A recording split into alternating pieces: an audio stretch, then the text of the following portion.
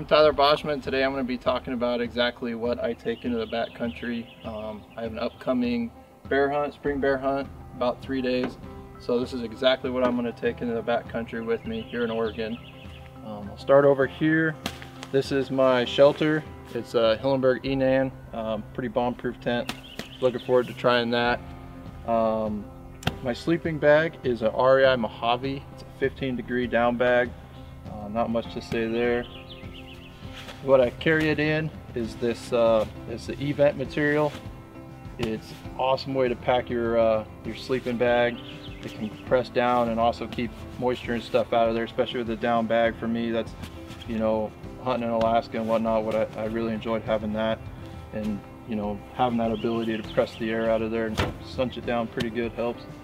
Um, for my sleeping pad, I just use a Big Agnes insulated sleeping pad. Um, packs down fairly light, fairly small. Uh, what I will wear most of the time, I got a couple layers of Kryptek. This is their merino wool, have a long sleeve and a short sleeve. And I have their lightweight pants. Um, been using that last couple years, all kind of stuff, and seem to hold up to the stickers and whatnot. Uh, I've got a pair of socks for stocking in on something when I want to slip my shoes off. And I've got my normal socks that I use with my um, shoes.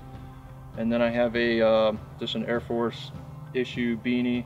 Um, and then some Smartwool underwear. Um, one thing I really enjoy having is this uh, shamal, say it right. Uh, I got this in Afghanistan and I find all sorts of ways to use that. Put it over my ears when it's real sunny or or set up a blind. So um, my water purification system is just going to be, I take a platypus bag and a lot of guys are doing this. I'll come in here and I fill up my dirty bag and I label it and uh, hook it all up and then just squeeze squeeze the dirty water through the filter into my bag that's probably either in my bag or sometimes I pull it out, just depends on the situation and then the syringe to back clean the, the filter. Um, that kind of varies depending on where I'm gonna be hunting. Um, I need water to be flowing, some kind of creek or, or, you know something I can get water out of fairly easy. In New Mexico, I use a pump down there. But um, also forgot I use for my insulating layer. I use this First Lite. It's the puffy. Works pretty good. As far as my camera, I use a Nikon. It's the Coolpix P7700. Um, I really like this camera just because it has the ability to do raw photos. And for my headlamp, uh, I've been using this thing for quite a few years. It's not super bright, but it's a uh, Princeton Tec fuel, uh, pretty cheap, good light. Um, this last year, uh, on my elk hunt in New Mexico, I started using this InReach, uh, and it works awesome if you can either hook it up to your phone and, and text messages that way, or you can actually, just through this device, you can text and uh, send messages home, and um, that's really worth having in the pack. Um, ended up meeting up with a buddy because of this and packing out my bull last year.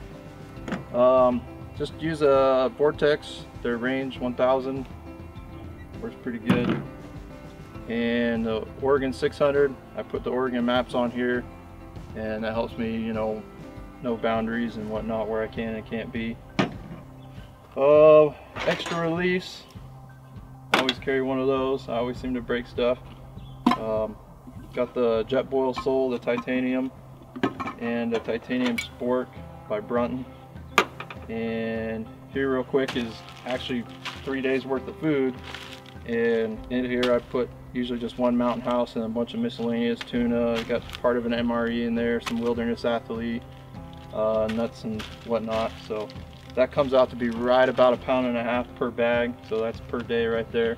And that's just shy of 3,000 calories. Um, use baby wipes, pretty self-explanatory there. And my miscellaneous bag, this is where I keep a little bit of 550 cord, um, a Leatherman just in case I have to work on my bow something like that, extra batteries, camera batteries, then also my toothbrush, toothpaste, fire starter. I got a backup um, iodine tablets in case you know, my filter stops working or something happens there, I punch or something, I have at least a way to procure water still. Uh, Tylenol PMs, must have, a little bit of duct tape, compass, whistle, miscellaneous first aid stuff. Um, in here I keep a pretty long set of uh, D-loop material um, just in case I, I cut my uh, string here that holds my rest up and down. Um, it's pretty nice having an extra extra string there. And over here I've got my kill kit, pretty straightforward. This last year I switched over to uh,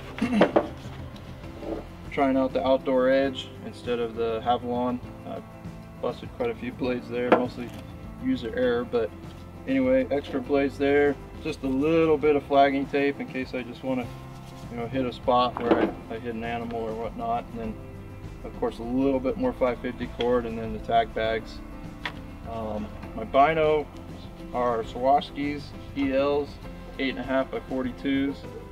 Um, love these. I love the, you know, have a little bit bigger optical image and whatnot with that. So um, I carry them in this Alaska Guide Creations bino harness and in it, it's pretty neat just because I can have a few little things like my wind checker and my lens cleaner, especially here in Oregon they fog up and whatnot and this has a little part where I can squeegee it off, clean it up and all that fits in my EXO 3500.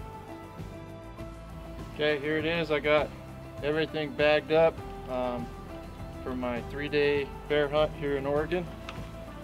With, uh, with food, except for water, I'm right at 24 pounds and maybe two ounces. So figure in maybe eight to 10 pounds of water and, and uh, that's where I'm gonna be for three days.